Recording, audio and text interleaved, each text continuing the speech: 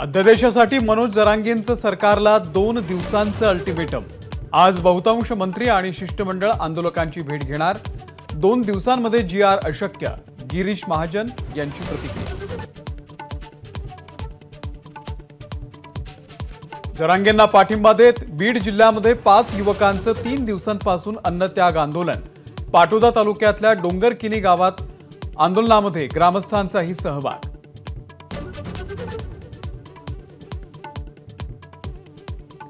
मराठा आरक्षणासंदर्भामध्ये अंत पाहू नका नाहीतर सरकारचा अंत व्हायला वेळ लागणार नाही. बच्चू कडू यांचं स्वकीयांनाच परखड इशारा.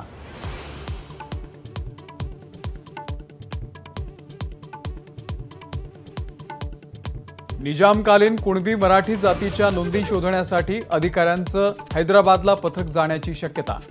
मराठवाडा विभागीय आयुक्तांची अधिकाऱ्यांना सूचना.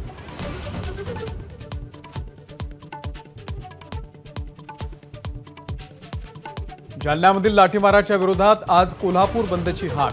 यवतमाळ वाशिम आणि साक्रीमध्ये देखील बंदचं आवाहन.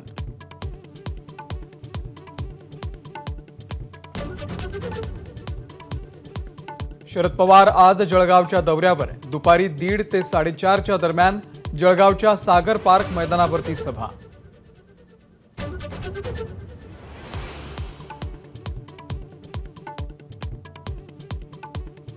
सप्टेंबर उजाडला तरी उजनी धरण फक्त सोळा टक्के भरलं.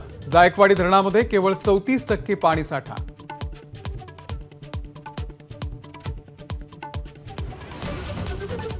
आयसीसी विश्वचषक स्पर्धेसाठी आज भारतीय संघाची घोषणा होणार. के एल राहुलला संघामध्ये स्थान मिळण्याची शक्यता. तर संजू सॅमसनलाही संघातून वगळलं जाण्याची चिन्ह. एबीपी माझा. उघडा डोळे बघा नीट.